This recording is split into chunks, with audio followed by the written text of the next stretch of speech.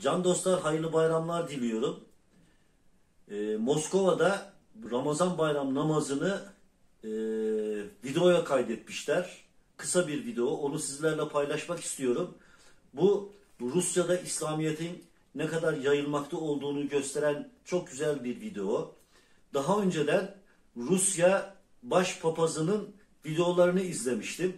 İslamiyet'in Rusya'da çok hızlı bir şekilde ilerlediğini gösteriyor.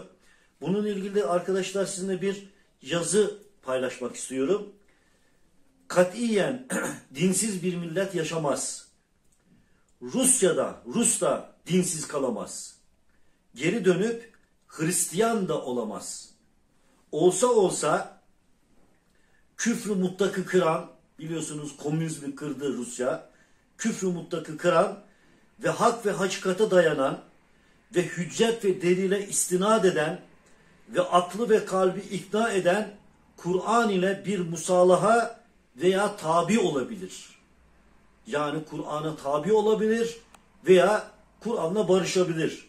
O vakit 400 milyon ehli Kur'an'a kılınç çekemez demiş bir İslam alimi.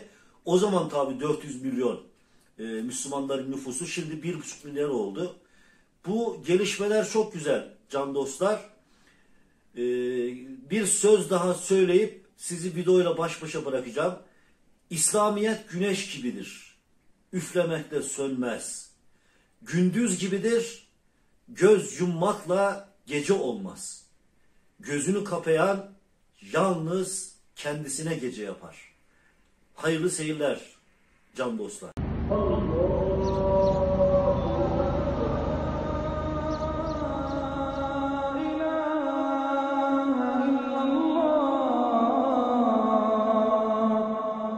أشهد أن لا